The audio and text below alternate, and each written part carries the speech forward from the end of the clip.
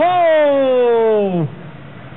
Iedere keer heb ik het weer over dat kleine detail wat het in de weg staat. En dat kleine detail nu, daar heeft het alle schijn van dat het als het geen noodstop is, in de bak zit. Motorkap open, daarbij uh, goed zichtbaar. De afscherming die daar uh, om de turbo heen zit vanwege veiligheidsredenen.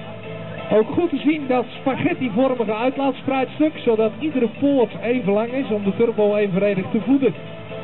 En wordt er nu even gekeken wat er hier dan toch aan ten grondslag ligt. Maar zo sterk onderweg. Tot aan 80 meter met de voorwielen de baan niet geraakt. En voor degenen die zeggen van ik ben twee jaar niet bij trakkerpoeling geweest. Twee jaar geleden reden wij de 3,6 Supersport. Dan ging hij op zijn achterbenen weg. Dan zette hij hem bij de 40 meter weer aan de grond.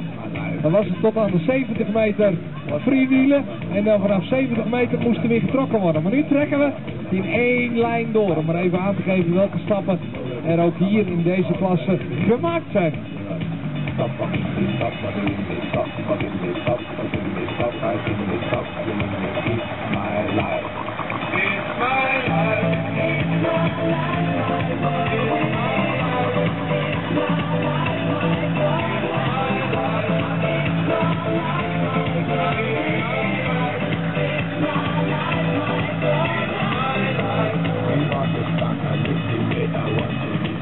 De steier die aan de overzijde van, even kijken, Stefan Vrede.